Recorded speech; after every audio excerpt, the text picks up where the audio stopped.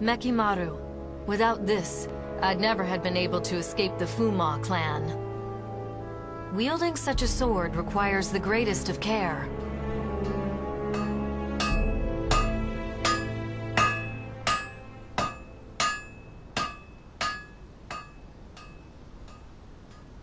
Hmm. I had some idea, but I never expected Soul Edge and Mekki-Maru would fuse together this well.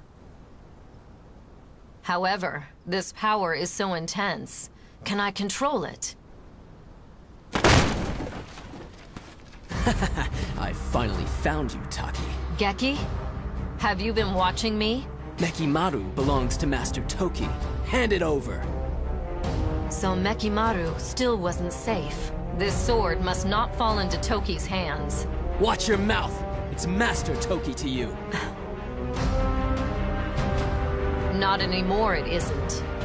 Why do you still follow him, even though he's lost his mind?